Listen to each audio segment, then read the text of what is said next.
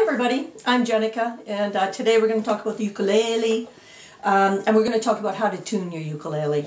Um, I use mnemonics, mine's dusty, I'm just noticing.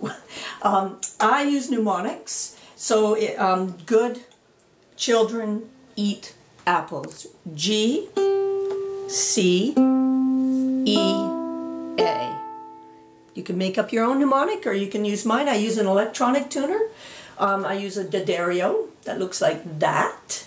Or you can get one uh, free app for your phone, um, Guitar Tuna has a um, is a free app that you can get, and we'll put a link to that in, in the information below. Be great if you could subscribe. Thanks.